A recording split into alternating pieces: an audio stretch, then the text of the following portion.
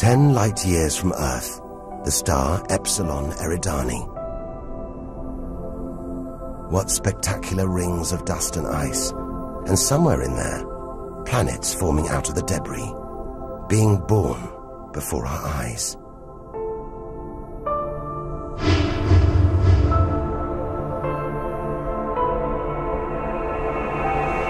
Asteroids and comets everywhere.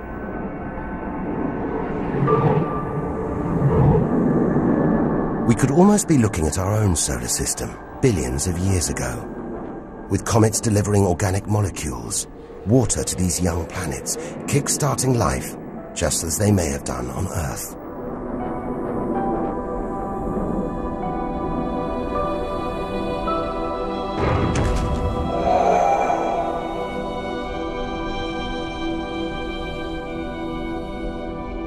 At the center of all this action, a star smaller than our sun. It's still in its infancy. Any life in this solar system would be primitive at best.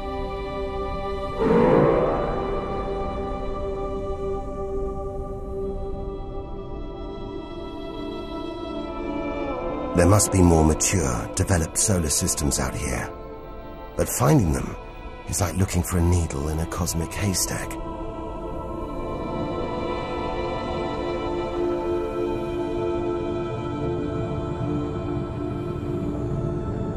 Twenty light years from Earth. Star Gliese 581.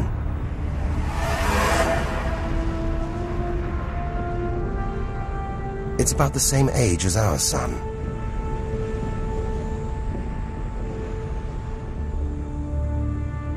And orbiting it, this planet.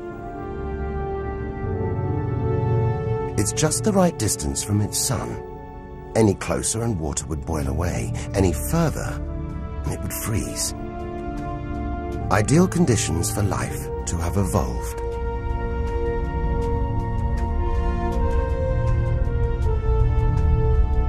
And if comets have struck, delivering water and organic materials, then life, complex beings like us, even civilizations like our own, could be down there, right now. And if there are, even at this distance, they could be tuning into our TV signals, watching shows from 20 years ago. And here's your host, Joe Dublin.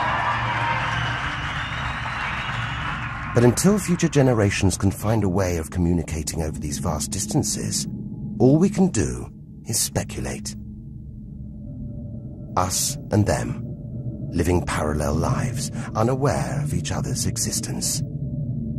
Unless life has been and gone.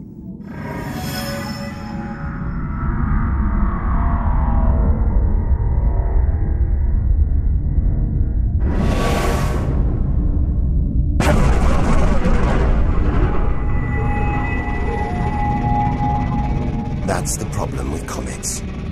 They're creators and destroyers. As the dinosaurs found out the hard way 65 million years ago. This is the needle in the cosmic haystack, the closest we've come to a habitable solar system like our own.